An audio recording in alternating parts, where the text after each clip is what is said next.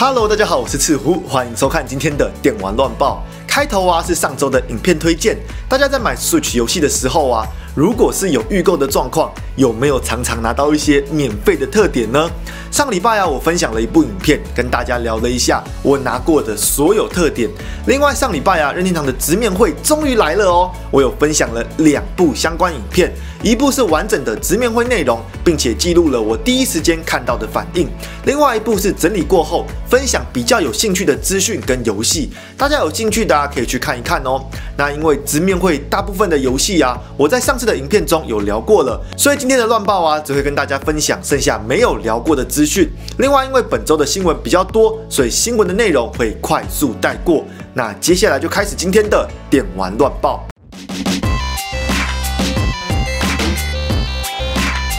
首先，第一则新闻，任天堂的试玩同乐会又来了。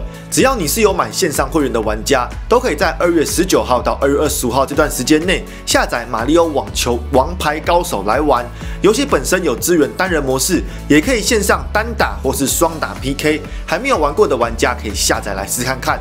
第二则新闻，多人合作很闹的派对游戏《胡闹搬家》要推出新的 DLC 了，预计将于二月二十五日推出《天堂搬运工》。这次的 DLC 内容啊，主要包含了新的关卡、角色等等，内容看起来是相当的丰富。对于已经破完的玩家来说，就又有新的关卡可以继续挑战了。不过我不太确定啊，是免费更新还是付费 DLC。有想要的人呢，到时候可以关注一下哦。第三则新闻，《风雨来记四》公开了新的消息。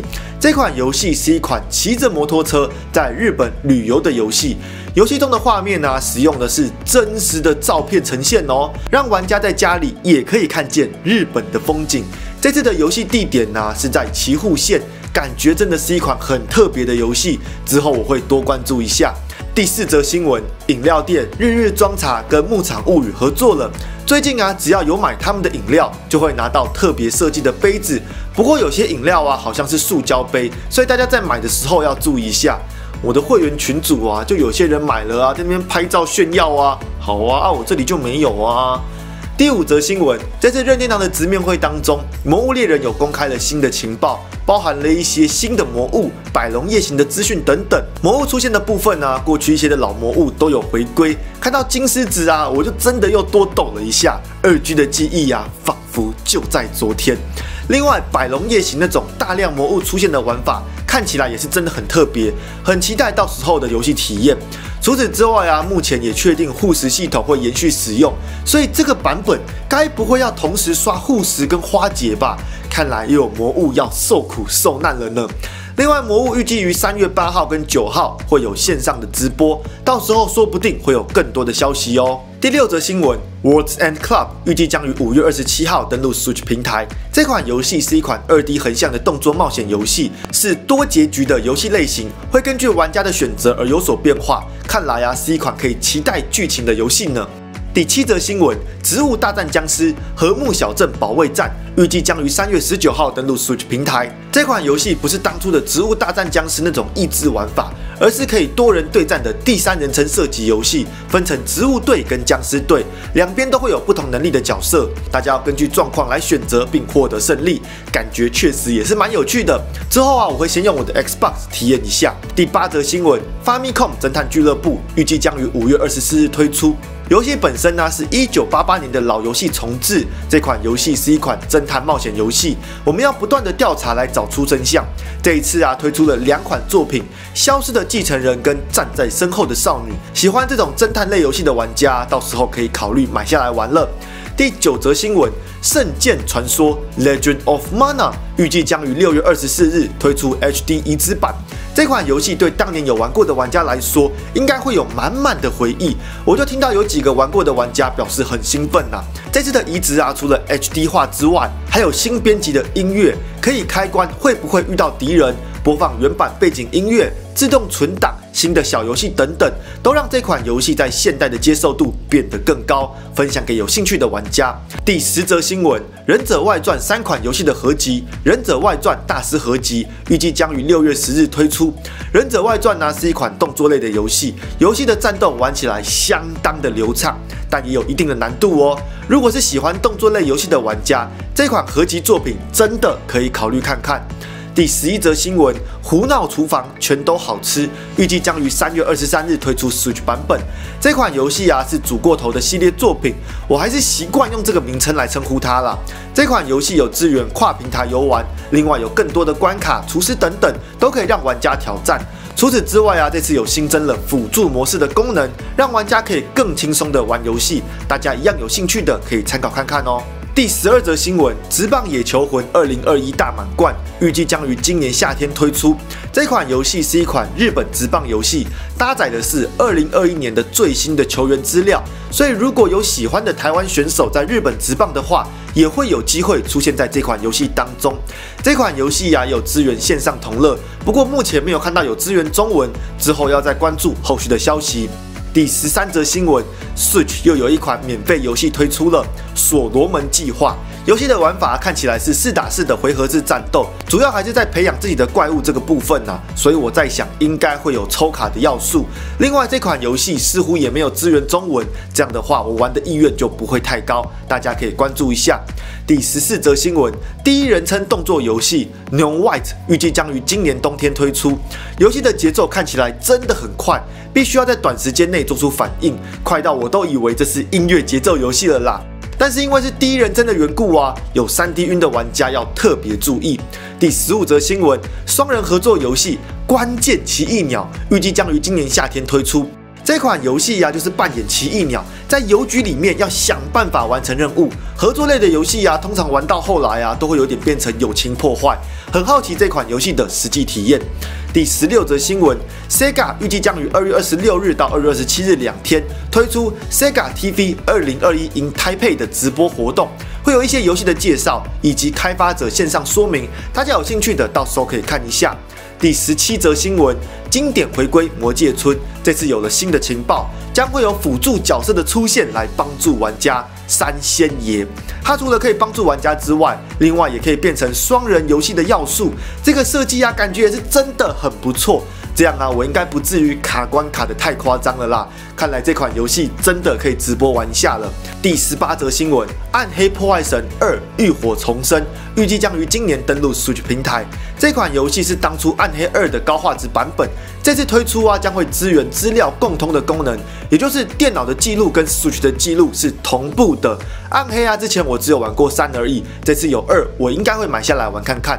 第十九则新闻：DC 漫画改编的游戏《DC 超级英雄少女》预计将于六月四号登陆 Switch 平台。这款游戏啊是动作类的游戏，剧情上啊是隐藏在校园中的超级英雄。这款游戏的画面呢是美式风格的啦，大家有兴趣的可以参考看看哦。最后一则新闻。任天堂线上会员的免费红白机跟超任又有更新了，有些名称不太好翻译啦，所以我就放原文在画面上给大家看。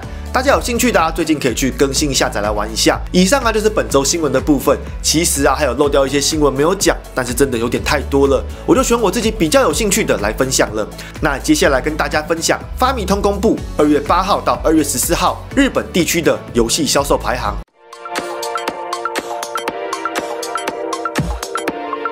第十名，Switch 平台《宝可梦剑盾》卖出八千三百二十四份。第九名，Switch 平台《任天堂明星大乱斗特别版》卖出一万零八十七份。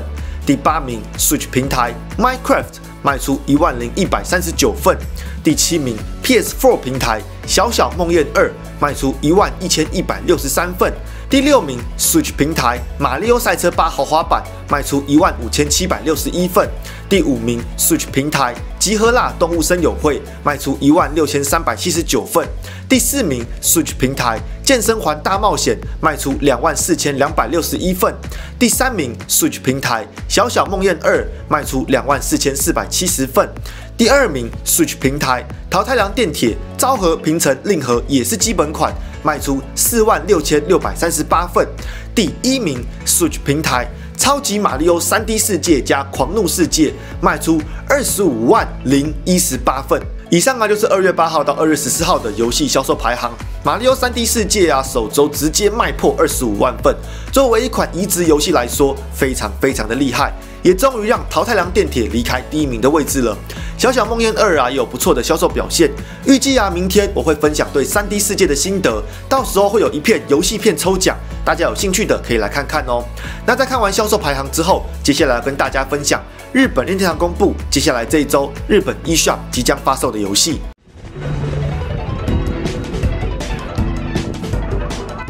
二月二十三号，《痞子英雄泰索斯遗迹》俯视动作冒险类，支援中文。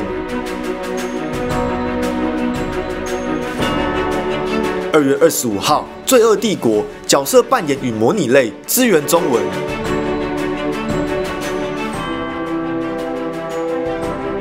小魔女卡顿重开机版弹幕射击类支援中文。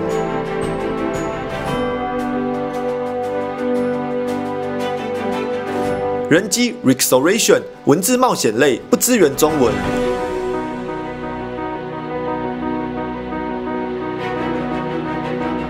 Steam Prison 恋爱冒险类支援中文。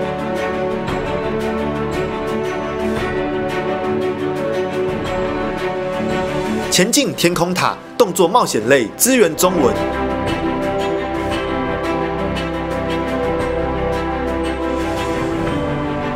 牧场物语橄榄镇与希望的大地，我骂他，观众骂我累。有中文，但日本 eShop 不支援中文。庆祝暴力俯视动作类不支援中文。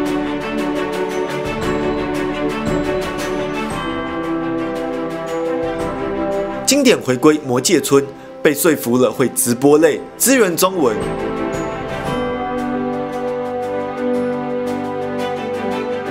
克鲁卡时间的旅行者冒险类支援中文。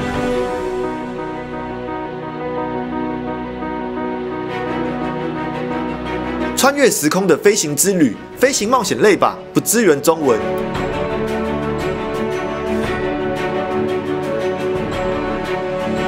侦探珍妮勒克莱侦探类支援中文。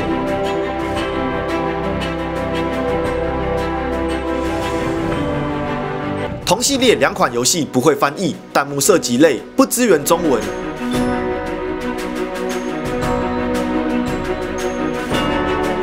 太空船员太空生存类支援中文。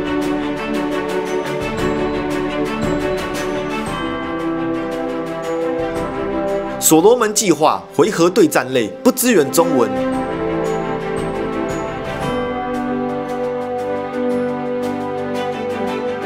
恶魔猎手真相揭秘解谜类不支援中文。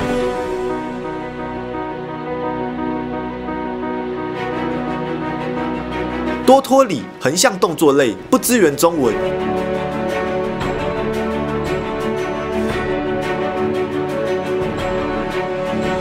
夜之下解谜探索类不支援中文。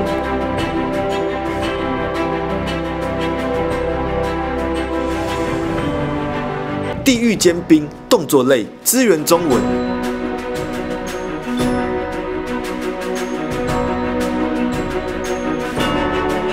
法律地牢解谜推理类支援中文。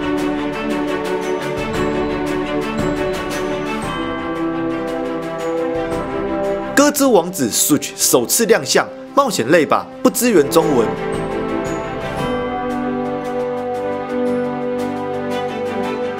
金辉恋曲四重奏，恋爱冒险类，不支援中文。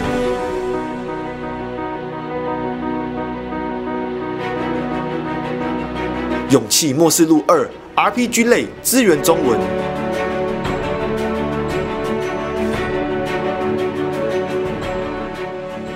以上啊，就是接下来这一周即将要发售的游戏。这一周啊，新闻多，游戏也多。下周我预计会买的游戏呀，就是《牧场物语》跟《魔界村》了。之后啊，都会找时间陆续直播。各位下周有预计要买哪些游戏吗？欢迎留言分享哦。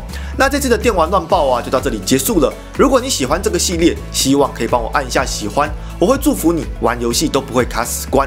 如果你喜欢我做的影片，记得下次要来看哦。我是赤狐，祝各位游戏愉快。